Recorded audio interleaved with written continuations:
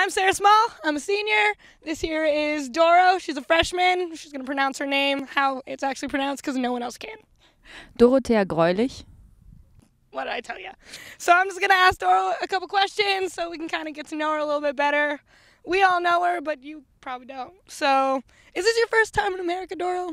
Um, no, I went with my all team for a holiday trip, only seven days uh, to Florida couple years ago. Do you find that you have any language barriers? Do you understand everything I say all the time? Honestly, not. I have some pretty awkward moments when I just understand the wrong thing or just said the wrong thing. So Is it just me or is it everybody? it's everybody. Perfect. Hey, What is your favorite American food? Um, so far it's grilled cheese Are you serious? because we are I love grilled cheese. I'm just kidding. I'm we don't do this to make a grilled cheese in Germany. Grilled cheese is life. Oh, So I know you like tea because you come into our apartment and use our kettle all the time. So I'm just wondering what kind of tea you drink because I don't know. I just see you in there and you like maybe say a couple words. Sometimes you ignore me completely, but it's fine. I'm not bitter.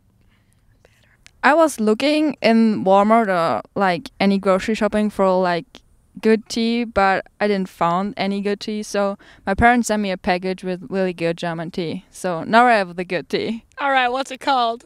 It's Räubusch. Right.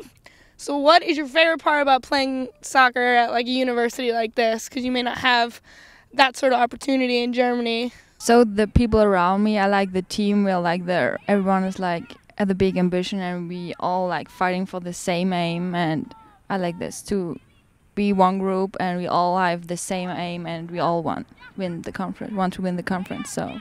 Heck yeah, Doro, that's correct. Is there anything you would like to say to our fans that you would not have the opportunity to otherwise?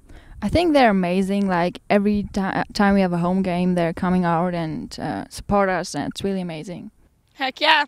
So, our next game is Sunday. We play South Out at 1 p.m., so we'll see you there.